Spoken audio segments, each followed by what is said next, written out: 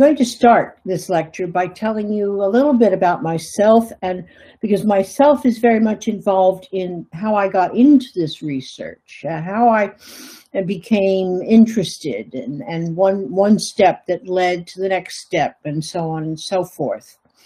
When I was a graduate student, among the most exciting work at that time, and this is the 1960s, was being done by a British scholar called Frances Yates. So let me take you back to Dame Frances Yates. When I knew her, she was Frances Yates. She later received that honorific of being a dame of the British Empire. I guess that's what you're a dame of. And she was working at that time on the Hermetic tradition broadly conceived in the Renaissance, and in particular, the life of Giordano Bruno.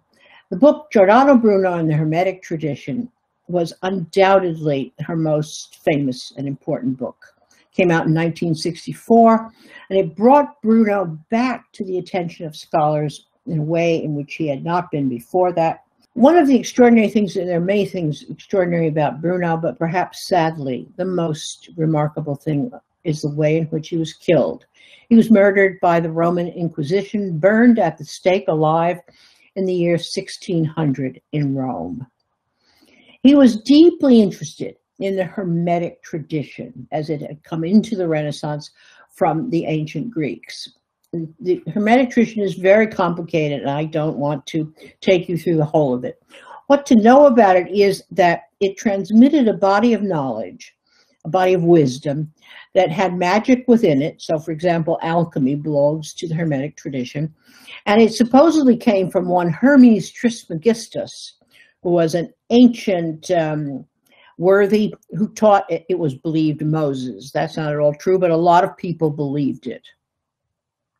It was particularly the case that the Hermetic tradition made a great impact in Protestant Europe. And we can find it, for example, among Scottish Freemasons of the early 17th century. How did this work out in the Masonic society and the Masonic way of thinking? Well, part of it is that it transmitted a sense of mysticism, a sense that there were, was other knowledge aside from the orthodox knowledge of the, of the churches and of the universities. And it also appealed to Protestants in particular because of, it was a kind of countercultural knowledge, uh, just as Protestantism was countercultural to um, the knowledge associated with the churches.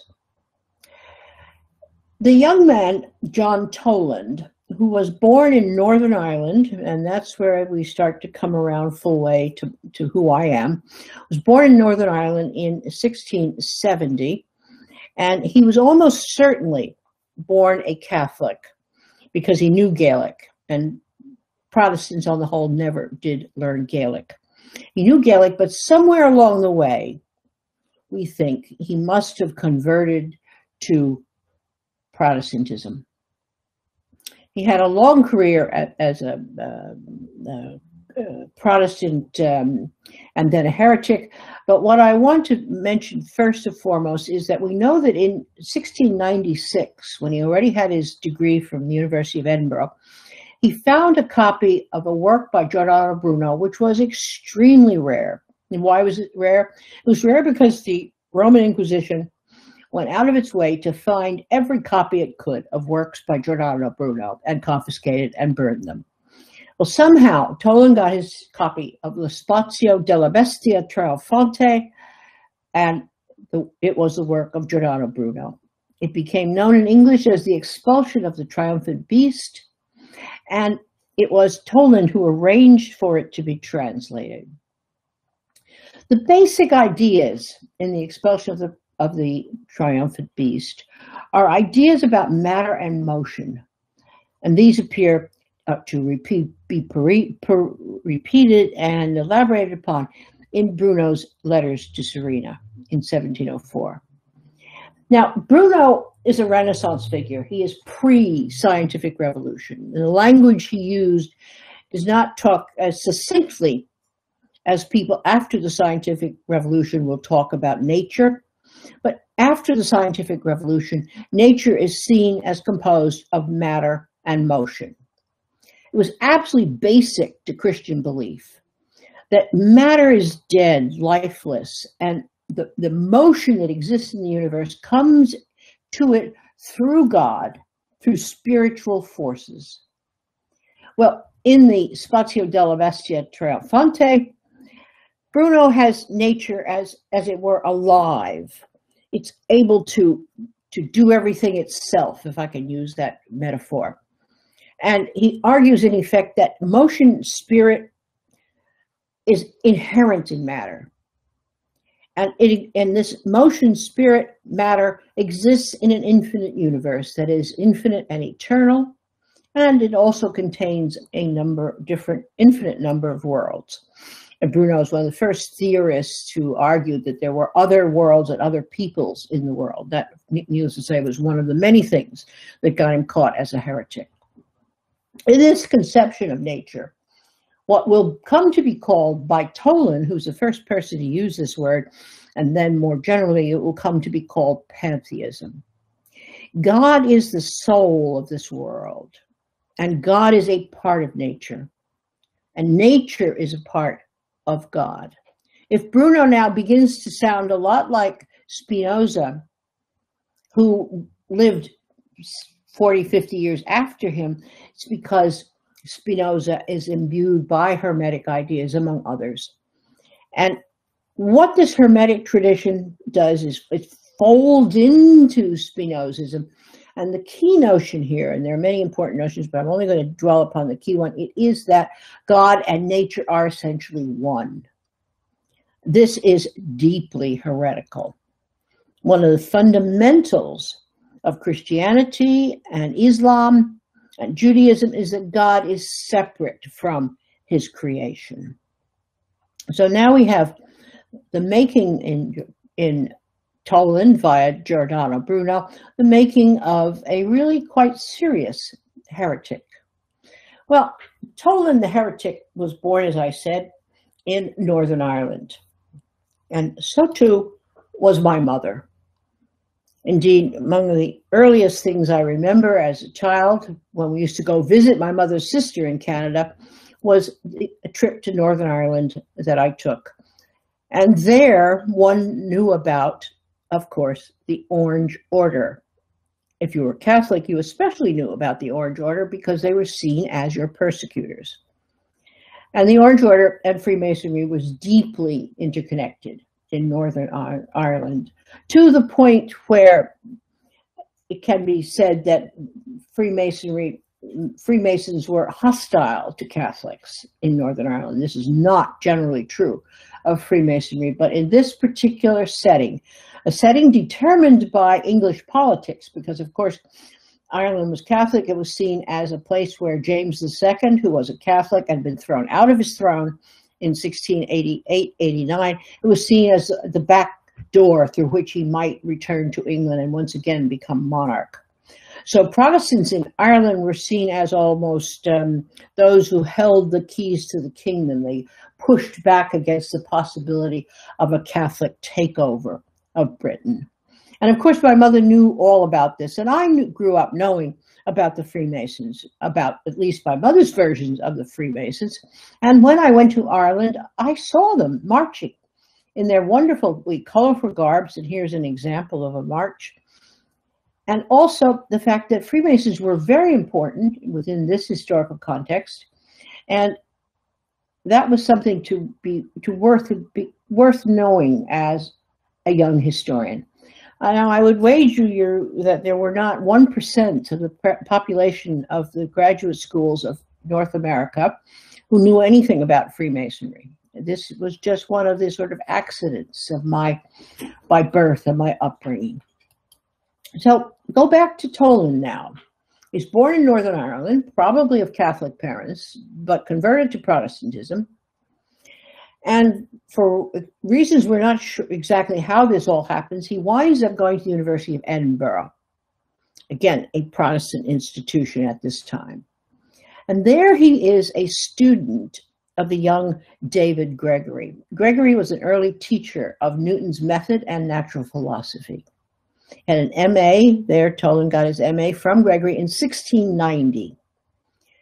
From there, he went on to become almost immediately a student for the Presbyterian ministry. And they, in turn, put up the scholarship that sent him to the Dutch Republic. From the Presbyterian point of view of the Presbyterian ministry, this was money ill spent because Toland did not come back from the Dutch Republic a more devout Protestant and, and minister of the church. Unfortunately, he came back a heretic. In the Dutch Republic, he met Benjamin Furly. Now, Furly was an English exile, and he was the son of a regicide who had gone into exile. Now, what is a regicide? This is somebody who actually, in 1649, signed the, the death warrant for Charles I, who, as you remember, was executed by Cromwell, the English Puritans, in 1649. So if you were a, a, a regicide when the monarchy, monarchy came back in 1690, the only 1670, 1660, sorry, the only thing to do was to leave the country. And so the young Furly, taken by his family, goes to the Dutch Republic, whereas Protestant is safe, and they become residents of Rotterdam. Now, Furly was a, a, significant intellectual who influenced a lot of people and knew just about everybody. The family was well off, and Furly, through his friends in the Dutch Republic, acquired one of the finest libraries in Europe. Now, let me hesitate here and point out that in the year 1700, half of the books in Europe were produced in the Dutch Republic.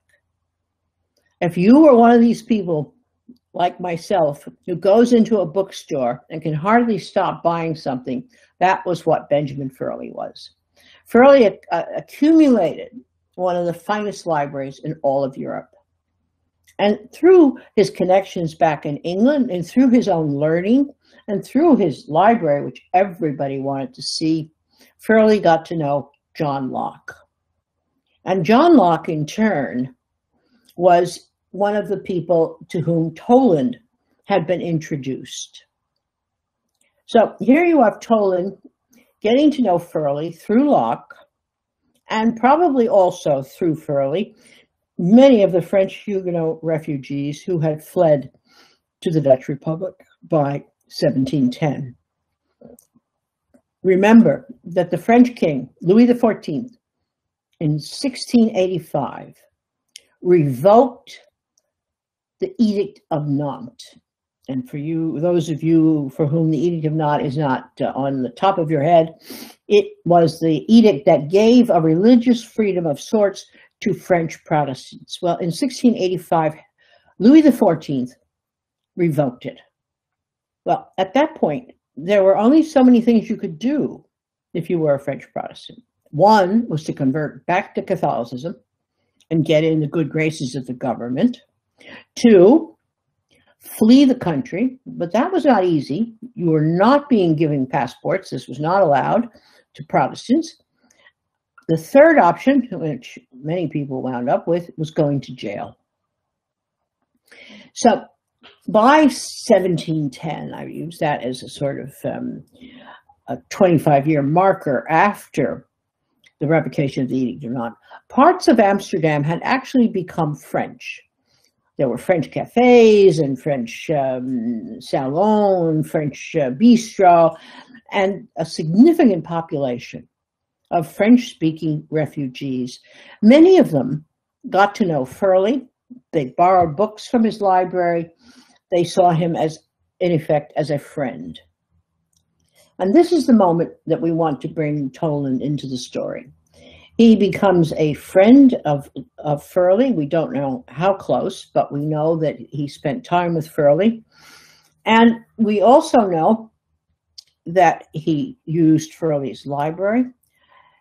And then we know from the manuscripts that John Toland left behind that sit to this day in the British Library, Toland had met a group of mostly French Huguenot refugees. They were a collection, they were a melange of different people. And they called themselves the Knights of Jubilation. We don't know where they came from. We don't know why they called themselves the Knights of Jubilation. But we know from a manuscript in Toland's library, dated November 24th, 1710, the Knights of Jubilation were having a nice fancy evening. The occasion was that one of them was about to get married. And the record of that particular meeting begins with a list of everything they ate. Pigeons, poulet, chapon, um, ham. It, the list goes on and on. The other thing it contains is a list of what they drank, which was prodigious. Indeed, when you read the register, which is what this document is called, of the this one meeting of the Knights of Jubilation, and by the way, it's in the handwriting of a man called Prosper Marchand. What you see is that in the course of the handwriting, it deteriorates and deteriorates and deteriorates. And this has something to do, I suspect, with what was being drunk that evening. One of the things that you see in this register is that it talks about every brother is a brother. Every member is un frère. These are, again, this is a French speaking group. And they are meeting under their constitutions, plural, which by which they mean the statutes and reg regulations of their order. In 1710, the word constitution in French did not mean statutes and regulations. It meant your physical constitution, your health, how you how you were, how is your constitution. The legally sounding, politically sounding meaning of the word is an English import that is first used in this context. This is, does not appear in print in, the, in this context, but it does within 10 years appear as the constitution of a group. But what's unusual about this usage is that the Constitution here is plural.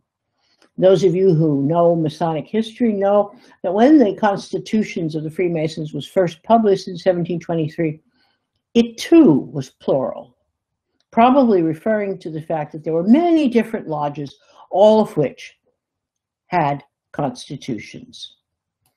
The, there's many important things about this manuscript, but one of the best things about it is that it's signed we actually know some of the people who were there that evening. Michael Boehm, the singer of the order, and Gleditsch were almost certainly German visitors. They are booksellers and publishers.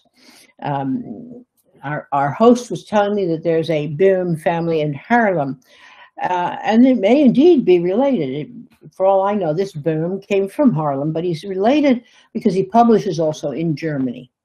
Charles Levier, who's the buffoon and the harlequin of the order, is a French refugee.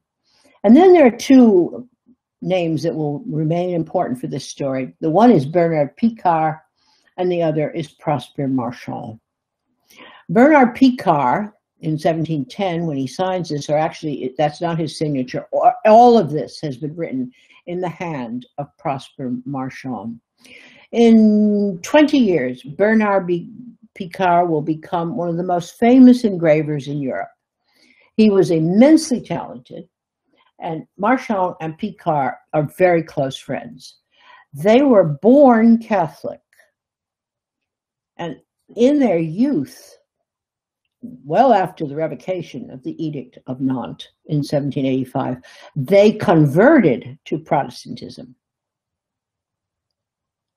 This is an extraordinary. Why do something like that and put yourself in jeopardy when Protestantism has been illegal since 1685? Picard and Marchand leave the, the, the French, they were able to get a passport and travel because, of course, nobody knows that in their hearts they're no longer Catholic. Not entirely clear that they're really Protestants, but they present themselves now as Catholics. They get a passport and off they go to the Dutch Republic. And they came in the year of this document, came that winter of 16 of 1709-10. And this document is 10 months later, it's in November. And here they are, members of the Knights of Jubilation. It'd be a little easier to see the names printed out. And they have titles, and there are other people present who call one another brothers, but we don't know who they were. We can guess, but we'll perhaps never know. Let me just say that there is no other evidence for this particular group. This is the only document found in Toland's papers that, that we have that tells us something about the fact that they existed. Well, what does it tell us? Let me, first of all, let's ask ourselves, who were the Knights of Jubilation? Let's note that the occasion for this conversation about them, this meeting, this register, is the coming of age of, of, one of them and his plans to marry. So marriage is upcoming. So what do we have here? Do we have a stag party? Do we have a feasting and drinking society? Well, we certainly have that. And do we have a Masonic lodge? We have everybody meeting there under a Grand Master. Fritsch is the Grand Master. Remember, go, go back to those um, See, he's crossed out his name, but it's he is a, he's labeled as the Grand Maître. So we know that they call another brother. They have a Grand Master. They meet under their constitutions, which are the statutes and rules of their order. Are they officially Masonic? Well, there is no official Freemasonry in this period. So the best I could ever do with this manuscript was to argue that they were all three. But there's something going on here that is larger than a stag party. It's even more fun, perhaps, than a feasting and drinking society. It's an English import because of the language that's being used. And it's something or uh, somebody that Toland would have known. And we know from other sources that Toland was associated with a man called Robert Clayton in London, and he ran a Masonic lodge in the 1690s. And there are clearly these Masonic elements. They meet under a constitution, they call one another brother, they're led by a grand master. Their record appears in the papers of someone who was familiar with Freemasonry. We know that Toland knew Clayton, and indeed he had been recommended to Clayton's group as a to be a member. We don't know what exactly this group was, but Clayton is clearly has a clear association with the 1690s Masonic, Masonic groups in London. The other thing we need to know is that Prosper Marchand, the secretary of the order, the man whose handwriting, as I said, deteriorates as um, events go on in the course of the evening, we know that he was a close friend all his life of Jean Rousset de Missy, Jean Rousset de Missy, by the 1740s, 30 years after this manuscript, has become a leader of Amsterdam Freemasonry and a participant in the revolution of 1747. Rousset de Missy also knew Locke's work extremely well, and he brought out a French translation of Locke's two treatises of government. Rousset de Missy operated as an agent for the Austrian government. Remember, Austria is the great enemy of France in this period.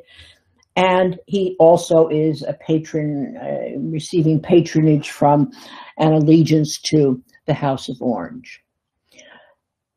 Rousset de Missy was indeed a French Protestant refugee, and he left behind his father, who was imprisoned in France. So Rousset de Missy is bitter, he's angry, he's extremely learned, he's very, very apt with his pen.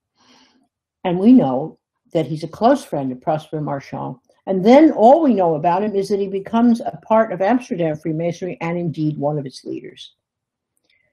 Does this say that Prosper Marchand was a Freemason? Well, we have no evidence exactly of that. We know he was blown to the Knights of Jubilation. Do the Knights of Jubilation lead to Freemasonry in the Netherlands? Officially, not really. The uh, official Masonry begins in The Hague in 1731.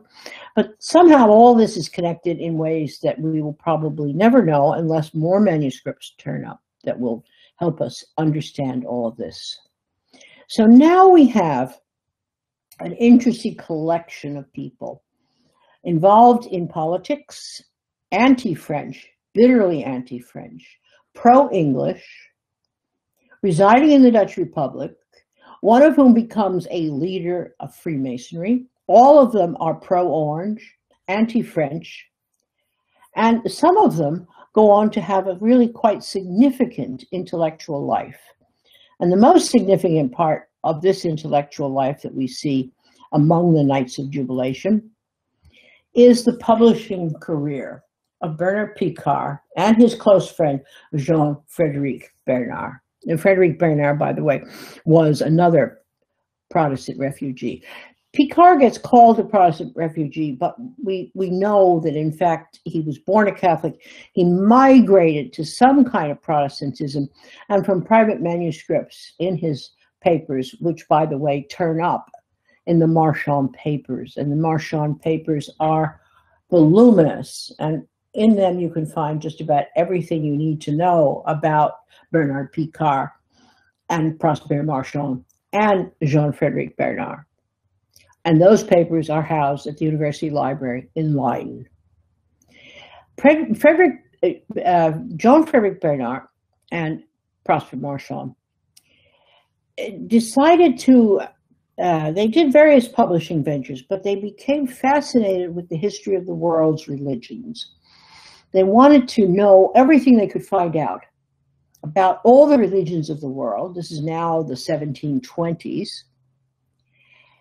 And with Picard as the engraver, and it's under his name that these cérémonies et coutumes religieuses of all the peoples of the world first appear under his name. And to this day, every library catalog lists this seven, actually nine folio volume work as being by Bernard Picard, although the actual publisher was Jean-Frédéric Bernard. Bernard wrote some of the pieces in it. He, he uh, copied other things. They had other people write for them. This was a, an omnibus enterprise. What's important about the ceremonies and religious customs of all the peoples of the world is this is a first attempt anywhere ever to treat all the religions of the world as worthy of respect, as interesting, as similar, and dissimilar, but to, to, as it were, make them an object of study, not a polemical piece that to so the Catholics can attack Protestants and Protestants can attack Catholics and they all attack the Muslims and of course everybody attacked the Jews. This is not an attack weapon. It's far from it. And that's the frontispiece, which is absolutely beautiful. We could give it a big enough piece. And you see in the bottom, there's there's Mohammed preaching. And there's a, that's a symbol of the Catholic Church in the center, and behind her, the great reformers, Luther and Calvin and so forth. And this is all of the peoples of the world assembled in various religions. The point about this work is that we now see it as an early example of the European Enlightenment. It, in effect, preached toleration of all religions, and it also treated them as all of a piece, all worthy of knowing. But are they all true? Well, is any one of them true? Mm, ceremonies and religious customs of all the peoples of the world doesn't suggest that any one of them is true. It's that they all have some kind of truth. And embedded in this volume is the first pictorial representation of Freemasonry we have, this is the earliest engraving we have that depicts a Masonic lodge. The lodge is meeting in England. What you can see behind you and very, very far up at the top, I'm not sure it's coming through very well, is the name Sir Richard Steele. And he's being shown as a kind of leading Freemasonry. Indeed, he was a Freemason. All these different cards that look like greeting cards almost are uh, from various coffee houses and taverns, and each is from a different lodge. There are 129 of them by the time this thing is published, and Bernard Picart is its engraver. From other sources of the time, we know that the, the chair, for example, that you can see in the um, various, um, the trowel, etc., the, the, um, um, the thing that you use to measure a corner, I'm forgetting its exact name, all of these things were commonplace in Freemasonry in this period. Does this mean that Picart and Bernard are Freemasons? We don't know. Depends on what you think about the Knights of Jubilation. Depends on whether you think that Jean-Frédéric Bernard is a member of the Knights. But we do know that these are folks who knew an awful lot about English Freemasonry at a period when officially Masonry had not yet made its way to the continent, except, of course, we know that that's a very complicated story. Freemasonry was first established in the Dutch Republic officially in The Hague in 1734, Paris in the late 1720s.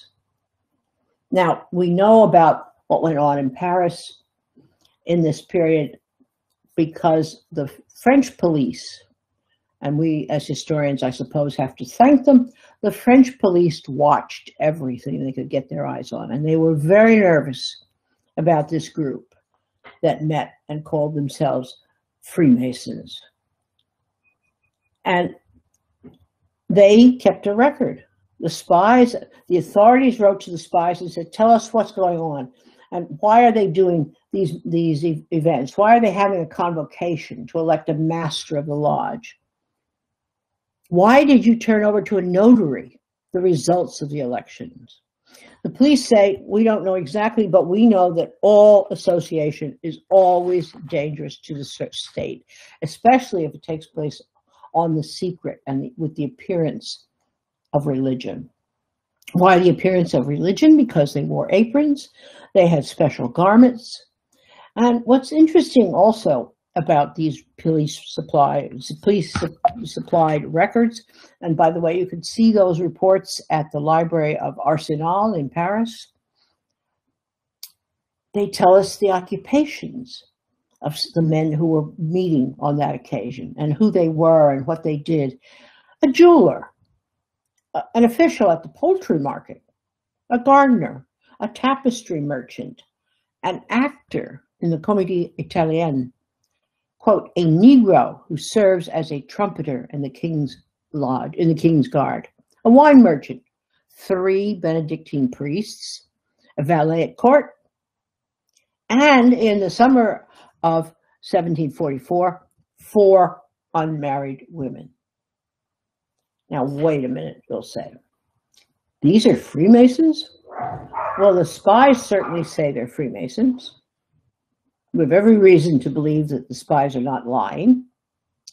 And that what they see is what they're recording. We'll, in effect, treat them like our anthropologists. Benedictine priests, women, and most extraordinary, perhaps of at all, a black trumpeter in the King's Guard. Now, there were such people. They were brought in from Africa and hired, and it was meant to show how what a big deal you were as a king that you had an African in your army. The Dutch did the same thing, by the way. An actor. Now, actors were regarded in this period as lower forms of life. They were not equals. But yet here he is, along with a black man from Africa, along with wine merchants, and three priests another valet at court, and four women, all meeting together in what the spies call a Masonic meeting. Well, is this masonry or is it not? I mean, what what are we looking at here? Well, let's let's try to piece together what it is the police are telling us about what was the earliest forms of Freemasonry to be found in Europe, in Britain, but here now in Paris in the 1740s. There's a structure, there's somebody in charge, they're meeting in, in a way in which they, they seem to have rules and regulations. They use rituals and they have ceremonies. They're serious, in other words. And what's interesting, they're imitating forms of governance. They have officers. They're going to a notary to record their, their documents so that they have an official standing, a legal standing.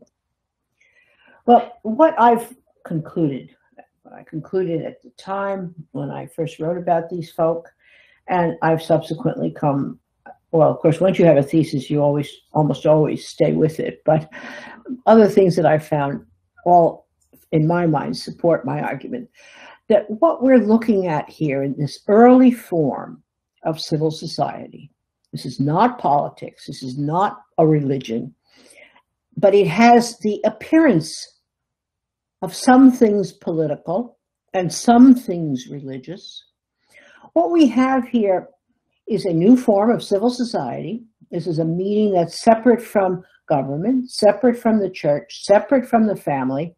It includes men and women, and those in working in the British Masonic tradition will be upset by that, but I'm sorry. The earliest European continental records show women in the lodges. They're always a minority report. They're always controversy, controversial, but they were there.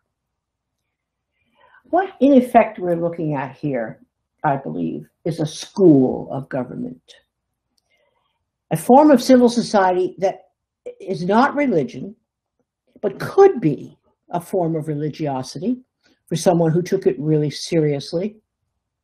Someone like Rousset de Missy, Marchand's friend, who used the, the word pantheism, which he got from Toland, to describe his own religiosity. This is the appearance of civil society outside the family, outside the state, outside the church. And it is also, or could be, an educational experience where men, and by the 1740s, some women could learn. Well, what could they learn? They could speak on, learn how to speak on their feet, how to vote in elections, how to pay dues, how to serve as officers, how to enforce a moral code. Because what these records begin to tell us as we go into Masonic records that begin to appear from that period onward, the lodges had rules of conduct. You, you couldn't be, you, you could have a big party afterwards, but you could not be drunk in your, and, and disorderly. You could be probably drunk, but not disorderly. You had to obey certain rules about behavior in public and in private. And if you didn't, you paid a fine. And if you paid enough fines and you were awful enough, they threw you out. So this is an organization that's operating as a, a, a kind of civil society that is also instilling mores, ways of behaving, and also increasingly tries to come to terms with its history and to, to in effect, find an ancient history for itself. So what you discover within, oh, a decade or two of these meetings is Freemasons who say that they're Rosicrucians, that they descended from the, the Friar of the Rosy Cross, etc. Well, it seems like we've come a long way from Northern Ireland and Fra Frances Yates. Or have we? The Hermetic tradition is here in the sermons and the records of the lodges from the mid 18th century onward. There is a religiosity, the grand architect of the universe is to be saluted, is to be seen as uh, a figure in charge, as it were, of the world. The Rosicrucian elements are something that is rediscovered. There's no continuous history of Rosicrucianism here. And I can, in a diversion, I can talk a bit about that. But by the 1760s, you have lodges that are taking Rosicrucian names and talking about the Rosy Cross. And so again, it's picking up the Hermetic tradition rather self-consciously by the last quarter of the 18th century. You still have the guild structure, and these things are descended from the guild structure. Namely, they have officers, they have elections, there's a grand master. One another are called brothers. All this is commonplace in the Masonic guilds that built the churches and were everywhere to be seen in Europe, but were not Freemasonry until the late 17th century in England. There are vestments, aprons, secret words, and handshakes. But again, the apron, secret words, and handshakes are an extrapolation from the guilds. The guilds had secret words. Why did they have secret words? Because guild members had to travel, sometimes long distances.